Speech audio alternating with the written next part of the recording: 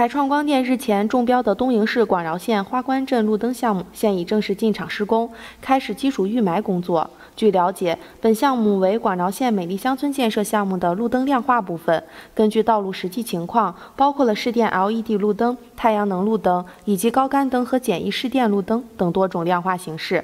施工完成后，将满足花关镇管辖的十三个村的照明需求，极大改善当地居民出行环境，为村民夜间出行提供便利。凯创。创光电公司将积极与各级政府合作，美化、亮化农村道路，改善民众生活环境，为建设美丽乡村做出自己的贡献。